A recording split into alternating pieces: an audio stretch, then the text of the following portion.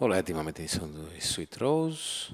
Αυτή τη στιγμή έχει δοθεί εκκίνηση της 8η υποδρομίας. Breathless, να πάρει την πρωτοβουλία, την οποία θα πάρει για να οδηγήσει μπροστά από τον Αντρέα ο οποίο ακολουθεί το ρυθμό. Στην τρίτη θέση είναι ο Groomer και ακόμα πιο πίσω είναι η Lady Vasso, Ergoclis, Sweet Rose και Ponchos. Έχουμε γρήγορο ρυθμό από τα δύο πρωτοπαράλογα, Breathless και André Sail. Ακολουθεί η Lady Vasso στην τρίτη θέση, ο Groomer στην τέταρτη και στην πέμπτη θέση ο Ponchos. Πεντακοσάρι, Breathless στην πρωτοπορία, στο 1 με 1,5 μήκος από André Sail, στα 5 μήκη, 6 μήκη είναι η Lady Vasso, ακόμα πιο πίσω τα υπόλοιπα άλογα με Breathless να ετοιμάζεται να μπει με πλέον έκτημα στην ευθεία των δύο μικών από τον Αντρέ Λευσέιρ. Αρκετά πιο πίσω είναι η Lady Βάσο μαζί με Groomer.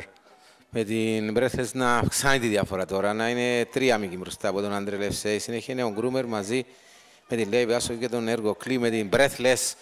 Να έχει δυνάμεις μέχρι τέλους, είναι στα 4-5 μήκη μπροστά. Breathless θα κερδίσει πολύ εύκολα τον όμιλο Αντρέ Λευσέιρ, Groomer και Έργο Κλής.